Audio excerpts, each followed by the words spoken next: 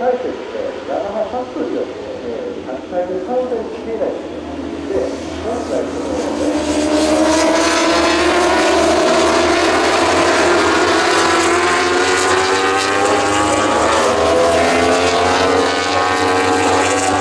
さらにはロザレコータも今出てきますね、ロザレコータは、ね、あの時びっくりしましたね、ロザレ選手ね、あの本田選手で、まあ、あの8回でもね、ちょっとね、あの彼、あの、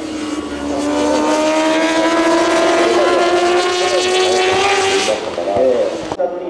リーム SI レーシング、こちらは、えー、米ライダー、伊藤茂樹監督が率いるレーシングチームになります。マシンはモンター。そして先ほどご紹介した1番から10番までのゼッケンというのは、昨年のランキング順に基づいた、えー、ゼッケンナンバーになっています。えー、ですので、去年までね、リングレーシングは本田でということになりましたので、えー、それでね、ナンバーもですね、分かるんで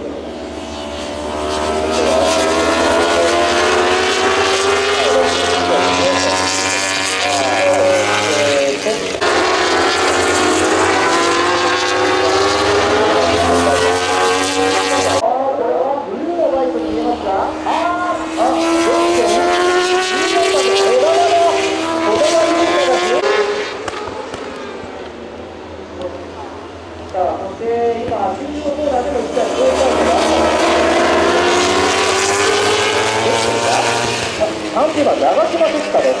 長島哲太、一旦のベッドで。あ、そうですか。そういうなりますと、まず、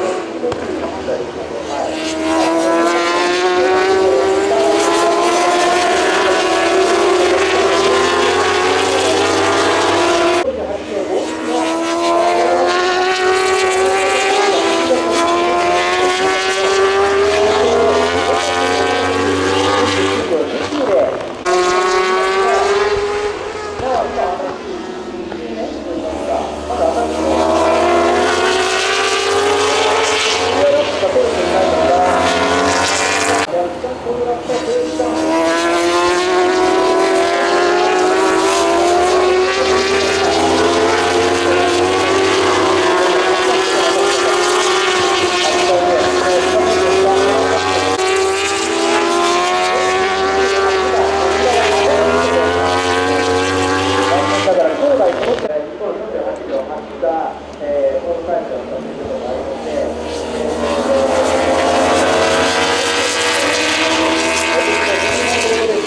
46秒44分でタイムですね。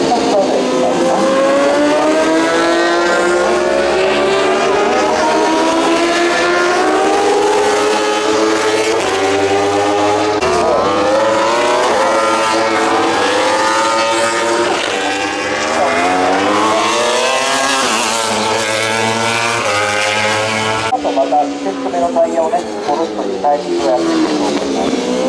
さあ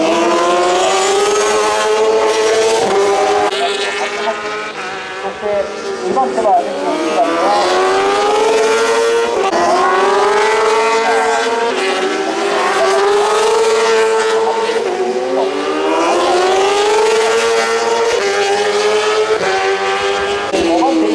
32番の野真光太、1分48秒89。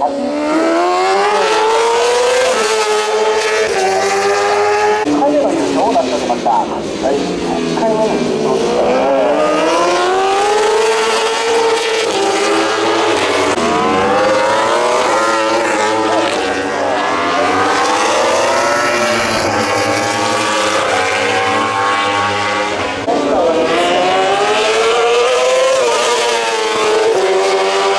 はい、参加しています。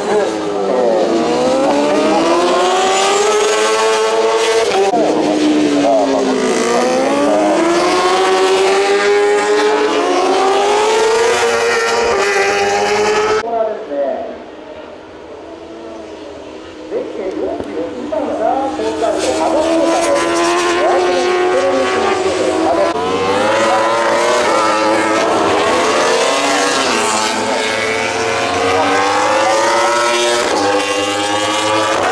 30番、1秒434で11番手。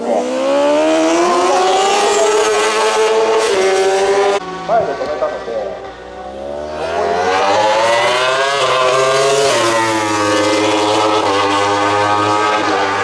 岡本祐希その成果が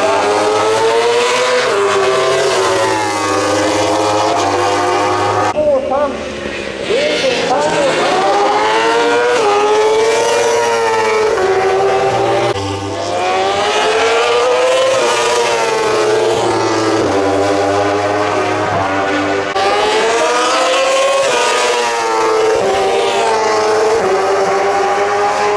入ったまま